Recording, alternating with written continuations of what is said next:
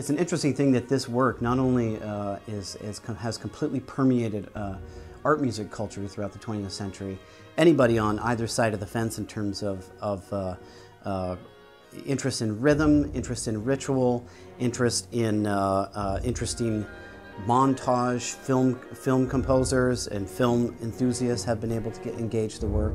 When artists are supposed to digest and res respond to something so monumental in, uh, you know, in world culture, and you aren't able to uh, respond to it in due scale, then uh, there's something really enticing about this opportunity. We hope that the, we can restore the, uh, the, how palpable the sense of excitement and sense of intensity uh, in reaction that this piece was able to uh, provoke, and hopefully we can bring you to a similar space.